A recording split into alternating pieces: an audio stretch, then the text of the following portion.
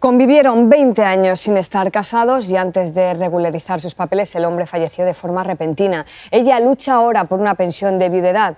Eva Conde Corval. Purificación González lleva un año y medio luchando por conseguir su pensión de viudedad. Esta vecina de Vigo mantuvo durante 20 años una relación con Julio.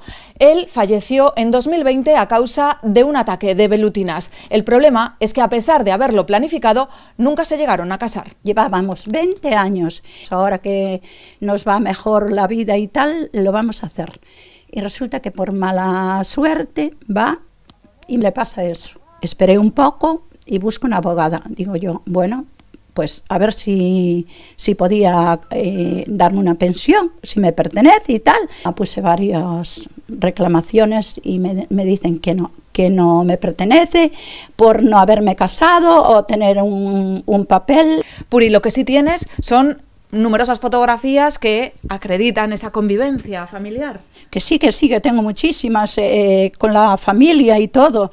Y aquí con yendo a televisión, los dos, con muchos amigos, aquí con mis hijas, que él tenía muchísima buena relación con muchísima, las quería a mis hijas muchísimo, muchísimo. Y ahora la familia de Julio te apoya en esta lucha por, sí, por me, la me pensión. Apoya, me está apoyando muchísimo y me dice, Puri, pa'lante, pa'lante, Puri, pa'lante. Voy a seguir luchando. Y que la gente eh, luche. Y que formalice legalmente su situación para poder reclamar sus derechos.